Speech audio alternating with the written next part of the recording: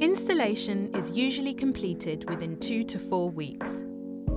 To help prepare, simply answer a few questions online or over the phone. You'll be asked where you'd like it installed, on an outside wall or in your garage. The charger cable is 5 metres long, so think about where you park and where the charge port on your car is located. You'll also need to supply photos of your property, showing the inside and outside of your meter cupboard, your electrical fuse board, and the MPAN number at the top of your electricity bill. Installation can take up to four hours with access needed along the route of the cable. Most of the work will be outside, and in most cases, we'll clip the cable externally and drill into the wall near your fuse board. Once installed, your engineer will show you how to use your home charger.